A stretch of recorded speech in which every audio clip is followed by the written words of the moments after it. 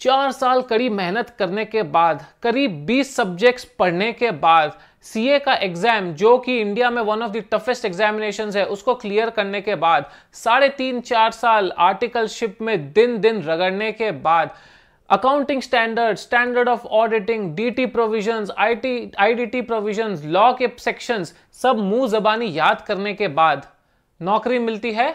छह लाख रुपए on an average सात लाख रुपए ऑन एन एवरेज वो भी अगर आप एक बड़े शहर में जॉब ढूंढ रहे हैं, अगर आप टीयर टू सिटीज़ या फिर टाउन्स में जॉब देखने जाते हैं तो एक फ्रेश चार्टेड अकाउंटेंट को मिलती है साढ़े तीन या चार लाख रुपए की नौकरी almost same with C S and C M A students also फिर आप लोग ये बोलते हो, यार, चार साल इतनी मेहनत करने के बाद अगर साढ़े तीन, चार लाख, पाँच लाख या छह लाख रुपए ही कमाने थे तो फिर काहे की सबसे इंपॉर्टेंट डिग्री सबसे बेनिफिशियल डिग्री अकाउंटिंग वर्ल्ड के अंदर इंडिया में, इससे अच्छा तो मैं और ही कुछ कर लेता, और कहीं मेहनत कर लेता, चार साल तो और कहीं मेरा करियर अच्छा बन जाता। ये जो डायलॉग है, या तो आप सुन चुके हो, या आगे सुनने वाले हो, या खुद सोचने वाले हो, लेकिन सोचने की बात यह भी है कि क्या जो एवरेज सैलरी पैकेज है एक सीए की उसके लिए who has to be blamed क्या वो इंस्टीट्यूट को ब्लेम करना है? या एक सीए जो पूरी की पूरी करिकुलम है, जो सिलेबस है, उसको ब्लेम करना है? या थोड़ी सी इंट्रोस्पेक्शन करके अपने अंदर भी झांकने की ज़रूरत है? It's not only about starting off with the package लेकिन आगे भी जब करियर प्रोग्रेशन होता है तो majority of the chartered accountants in spite of being technically very strong fail to progress very well in their career या बहुत high level managerial level पर बहुत कम चार्टर्ड अकाउंटेंट्स पहुँच पाते हैं। इस वीडियो के अंदर हम डिस्कस करने वाले हैं क्यों एंड कैसे आप उस चीज़ को करेक्ट कर सकते हो चेंज कर सकते हो and have a better future in this course उससे पहले दोस्तों, अगर आप में से कोई भी क्लैट की प्रिपरेशन कर रहा है। लॉ एडमिशन टेस्ट जो है इंडिया के अंदर 2021 में, अगर आप कोई प्लान कर रहे हो लिखने का या उसके बारे में समझने का देन अन अकेडमी प्लेटफॉर्म पर आप लोग बेशक जाकर उसके बारे में समझ सकते हो। जो लोग एग्ज़ाम दे रहे हैं या प्लानिंग कर रहे हैं पढ़ाई करने की, उनकी अन अकेडमी की मिशन क्लैट सक्सेस 2021 बैचेस चालू होने वाली है सेवेंथ ऑफ़ दिसंबर से। आप लोग जाकर उसको भी देख सकते हो, वहाँ पर सब्सक्राइब कर सकते हो एनरोल कर सकते हो। उनकी जो फ़ीस स्ट्रक्चर है, जो भी डिस्क्रिप्शन है, जो भी डिटेल्स है, जो भी ट्यूटर्स आप लोगों को पढ़ाने वाले हैं, सब की, सब कुछ मैं आपको नीचे डिस्क्रिप्शन में लिंक दे रहा हूँ, पूरा कंटेंट दे रहा हूँ। वहाँ पर जाकर आप लोग यूज़ कर सकते हो। नॉट वेरी एक्सपेंसिव उनके फ्लेक्सिबल प्लान है, जो आप जाकर देख सकते हो एंड अगर आप क्लाइट के बारे में समझना चाहते हो, जानना चाहते हो, या फिर पढ़ रहे हो एंड एग्ज़ाम दे रहे हो तो डेफिनेटली आपको बहुत मददगार साबित होने वाली है ये चीज़ अन की तरफ़ से। अब आते हैं वापस अपने टॉपिक के ऊपर।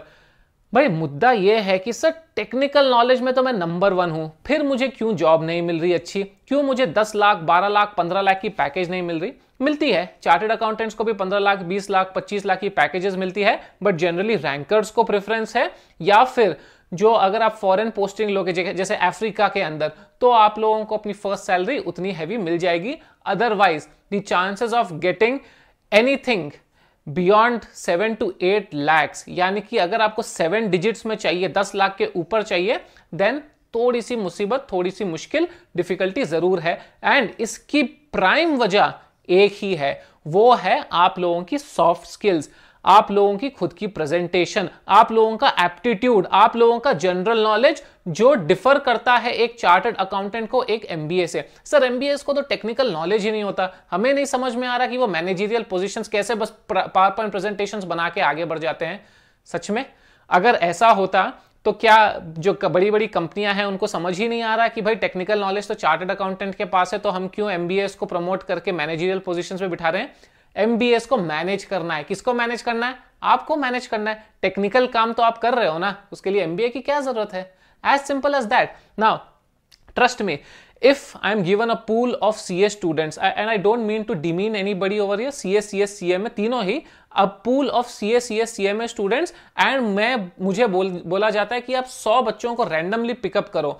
मैं 100 बच्चों को रैंडमली पिकअप करूँगा, उसमें से आई कैन गारंटी कि 90 स्टूडेंट्स ऐसे निकलेंगे जिनकी या तो कम्युनिकेशन खराब है या उन्हें जनरल अवेयरनेस बिल्कुल ज़ीरो है या फिर उनको पता ही नहीं कि वर्ल्ड में क्या चल रहा है इकोनॉमिक्स अफेयर्स में क्या चल रहा है they will not know anything outside their own bubble कि भाई हम तो आर्टिकलशिप में ये दो तीन सब्जेक्ट के ऊपर काम करते थे, अपने सीए एग्ज़ाम में ये आठ दस सब्जेक्ट पढ़ते थे, हमें तो इतना ही आता है और हम समझ रहे हैं, हम तो किंग है, हम एक तालाब में रह रहे हैं and that is the reality additional skill sets किसी के पास नहीं मिलेगी। अगर आप सोच रहे हो, सर जीएमसीएस होता है ना पंद्रह बीस दिन का अगर आप सोच रहे हो कि जीएमसीएस में पंद्रह बीस दिन आप सुन के वहाँ पर भी आते टाइम तो मस्ती होती है। And to be very honest GMCS is ineffective वहाँ पर जाकर अगर आप पंद्रह दिन में सोच रहे हो कि मैं सॉफ्ट स्किल सीख कर एकदम on par with the best हो जाऊँगा तो एक ही कंपैरिजन में ड्रॉ कर सकता हूँ। आपको अगर आज कोई आता है और बोलता है, चलो फुटबॉल खेलना सीखो, पंद्रह दिन में आपको वर्ल्ड कप खेलना है you have to be ready is it possible it's not possible developing your personality developing your soft skills developing your knowledge is a long drawn process and C A students unfortunately lack at it काफ़ी सारी वजहें हैं कि sir हमें time नहीं मिलता fair point sir बहुत ज़्यादा regret पढ़ाई हमारी करनी पड़ती है एडिशनल क्या करेंगे?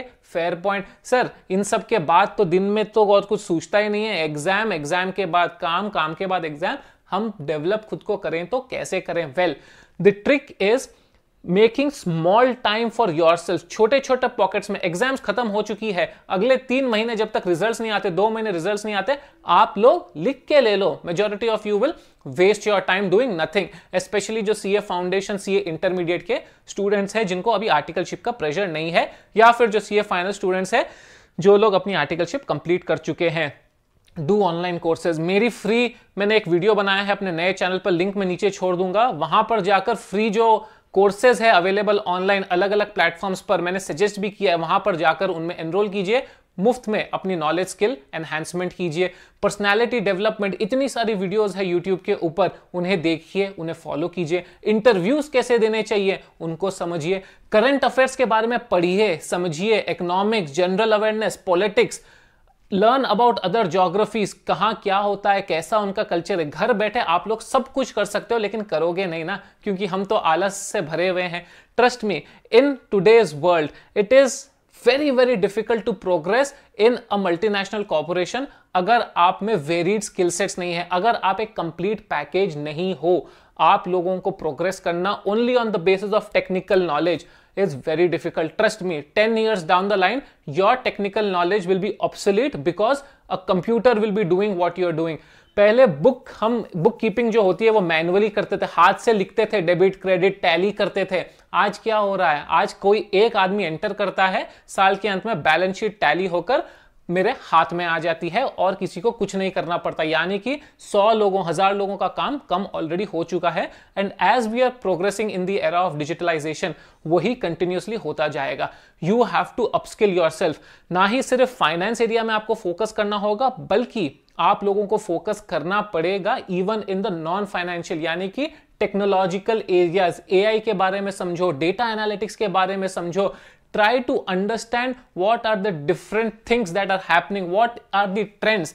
तो ताकि जब आप एक इंटरव्यू देने जाओ जॉब के लिए you are able to talk much beyond just your technical capabilities एक बार जॉब लग भी जाती है प्रमोशन जब आपको चाहिए होता है तो देर इज़ अब रिव्यू पीरियड की दो साल, तीन साल में आपने कैसा काम किया? अरे, ये बंदा टेक्निकली तो बहुत स्ट्रांग है, लेकिन मैनेजरियल स्किल्स तो है ही नहीं। इसको एडिशनल कुछ पता ही नहीं है। He is only a technical guy I don't think he will be और ही और she will be capable to take up a managerial position extremely important how to socially network how to build relationships relationship skills all this is all this is very important.